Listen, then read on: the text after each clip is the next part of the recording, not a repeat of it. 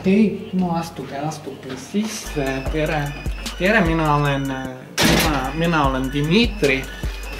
siin, see on minu krib. siin ma elan, tähendab kaks päeva juba ja, ja selle korteri ma ostsin kaks päeva tagasi oma sõbra Vassiljevi käest. Vassiljit näete seal, tal on kõht praegu tühi, tähendab, siin on siis suur tuba ja siis äh, siin, see on sihuke suur tuba, tähendab ja seal on televisioon. ja siis äh, tähendab äh, siin siis mina elan. nii, siin on siis äh,, ma näitan teile vannituba. siin on äh, ilus äh, suur vannituba. Siin on pesumasin, siin ma pesen riideid. Need on minu suveriided, nüüd ma kannan suviti talvel on külm nendega, siin ma kuivatan neid äh,. siis sinna on peegel, siin on kraanikauss, kraanikausi ma, kraanikausist tuleb siis vett ja siis ma kraanikaussist ma äh, vett ei joo, ma joon viina ainult. siin on äh, tualettpott ja siin on siis dušikabiin.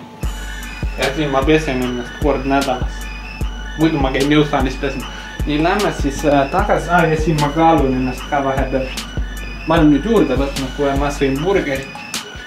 nii, astume siis välja siis niimoodi. ma panen ukse kinni, sest muidu tuleb kakahaiss siis.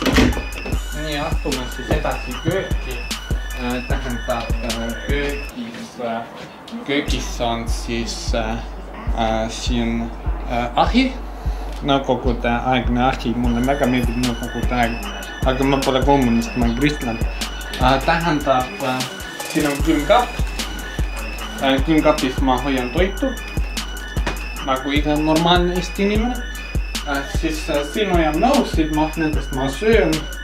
see on minu hommiku äh,, lõuna ja õhtusöök. seda ma söön iga õhtu. Ja siis, oih, kurat, oot, oot, oot, oot siin on laud, siin laua peal ma istun. no mitte laua peal, vaid no, no siin tooli peal istun ja siis söön laua peal. nii äh,, siin on kell, kell on vale. kell on vale, noh, kell on kinni jäänud. Siin on aken, aknast ma vaatan välja, vaatan siilit. ja siin on lamp, lamp valgustab äh, tuba. nii ma nüüd näitan teile siis seda äh, tuba.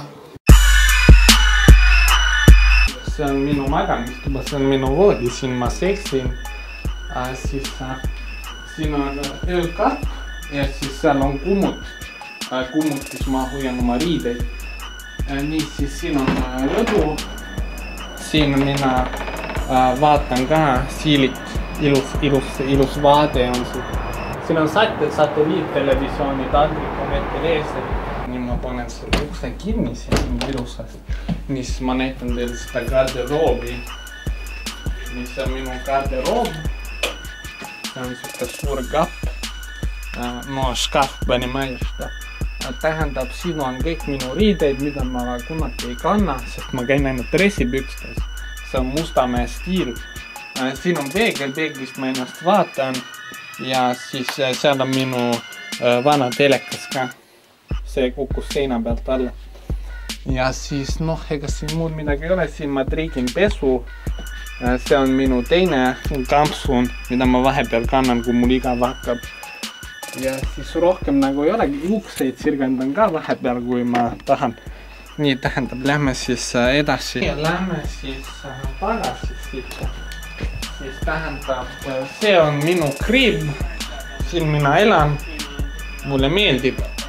siin on hea, siin on soe. põrandakütet ei ole, laekütet ka ei ole, noh kurb.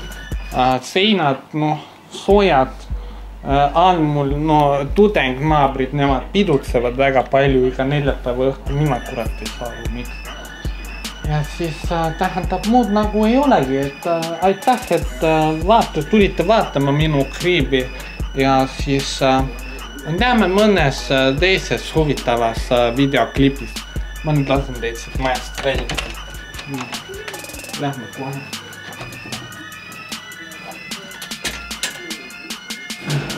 Ni hmm. Agak uh, tak baik. Bakar.